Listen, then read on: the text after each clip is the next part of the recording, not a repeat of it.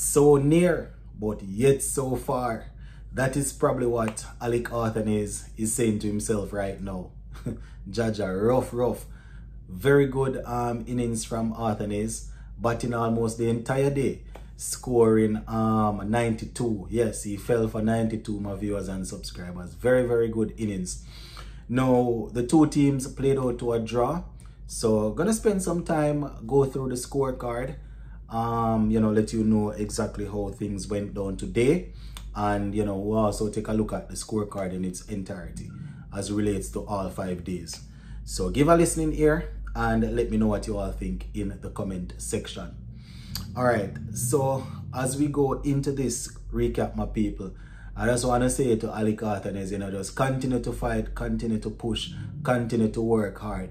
You know, it would have been a very, very good century. It was a good innings, yes, but it would have been a very good century knowing that, you know, um, he was batting to um, save the game. You understand? If he fell or if he went early, you understand um, who to tell. We probably would have gotten bowled out, you know, but um, thankfully he was able to put together a good partnership with um, Keacy Carty. And, you know, then he had one with um, Hodge, also had a nice little partnership going with, uh, also had a good little partnership going there with uh, Jason Holder. So let's get straight into it. Now, West Indies bowlers, they were unable to bowl out South Africa, obviously, you know. Um, at the end of day four, Warrican was saying that the aim is to go in and bowl them out quickly and see where they can go from there. Well, that did not my viewers and subscribers. Um, South Africa, they made 173 declared. Um, 173 for 3 declared. That gave us, I think, run about 297, um, 298 thereabout to, to, to win right? Um, we, we we were on our way, my people. We were on our way, but you know, we we, we ran out of overs basically. Um, there were still a couple of overs remaining in the day's play, probably about five or six or something like that. But the two captains, along with the umpire, you know, came to a decision that they're going to just call it. I mean, Jason Holder was standing firm. He was looking as if he was not planning to get out, as if he didn't plan to get out. You understand? Um, so, yeah, we ended on 201 for 5, going in search of that 298. You know, um, Rain, Rain did a lot in this test match. Rain really did a lot, my people. So, in this second innings here for us, 201 for 5. Well, let me finish with South Africa's second innings. So 173 for 3. Um, Tony De Zorzi, he made 45 from 60. Aiden Markram made 38 from 48. Um, Tristan Stubbs, he played some attacking shots uh, this morning.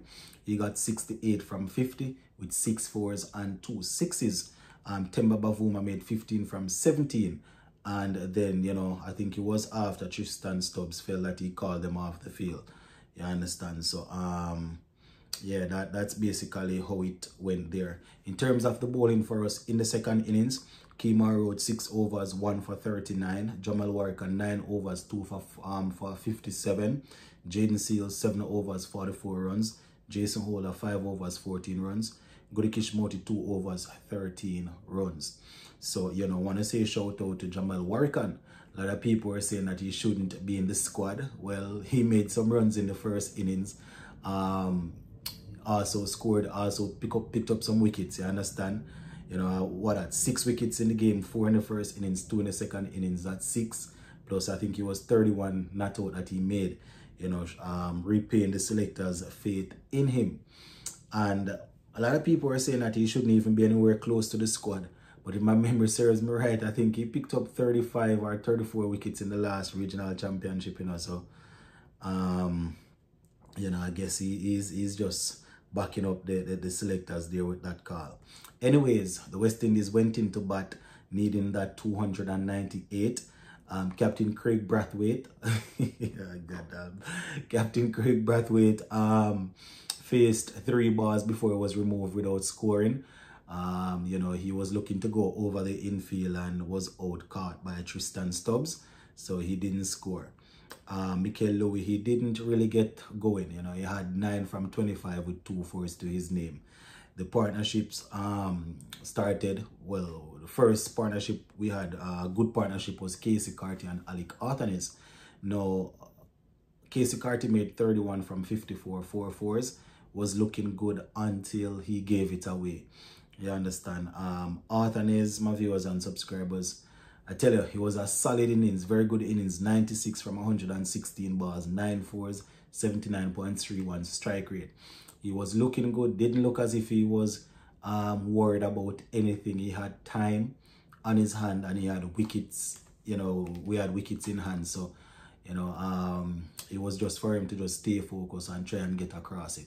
You understand? Don't know if he got frustrated or anything or, or what, you know. I won't even blame the, the, the sweep shots and stuff like that because he was playing them pretty well throughout the day, you know. Um, But prior to him getting out, he was sort of starved of the, of, of the strike a little bit, you understand. Um, yeah, man, he was starved of the strike. I think it was Holder that was, um, you know, faced, faced, Holder that faced a couple of deliveries, couple of, probably about an over or so before, you know, um, Athanaze went back up there you know, he was he was looking a little fidgety, you understand, playing some shots that didn't look too convincing until, um, you know, he was out caught, you understand, um, Maharaj setting him up and getting the better of him.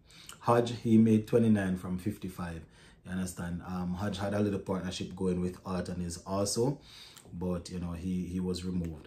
Now, Jason Holder was left not out on um, 31 from 76, 1-4 and 1-6 know, very mature innings from Holder.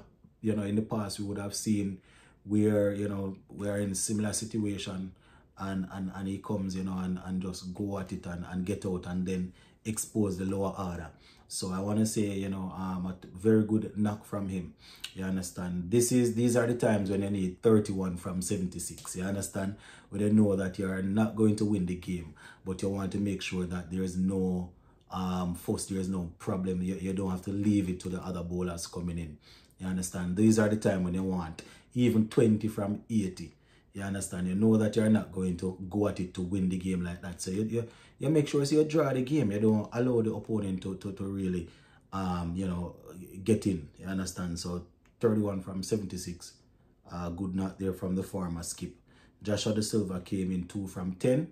Um, helped out a little bit also made sure that Holder didn't face all of the deliveries there. And, you know, as a result of that, they were able to come together and say, yes, let us shake hands. Let us call it a draw. So 201 for 5 is what we ended on. Um, in terms of the bowling for South Africa, Maharaji had 4 for 88. So spin doing it again, 26.2 overs. Rabada 1 for 38, 12 overs. You understand? If you didn't get a chance to see that Rabah had a wicket, um, he got rid of um, Mikyle Louis. You need to go and check it out. It was a very good setup. You understand? Um, Ngidi only bowled 5 overs, 25 runs. Aiden Markram, 8 overs, 26 runs. Uh, Mulder, 5 overs, 18 runs. So that is basically how it went, my viewers and subscribers. I want to say um, shout out to the players for um, entertaining us. Shout out to the rain for making sure that South Africa didn't get this one. But yeah, that is pretty much how it went, my peeps. Gonna leave it right here so for now. Just wanted to give you a quick recap of the scorecard. You know, later on or tomorrow, we can take a look at um, individual stuff. We can take a look at, uh, you know, a couple of other things. Just wanted to finish off with the scorecard. Oh, the player of the match um, was Maharaj, you know, picking up 4 for 76 and 4 for 88. You understand? So getting 8 wickets in that game. So, yeah. That is it, my people. Gonna leave it right here. So for now, big up.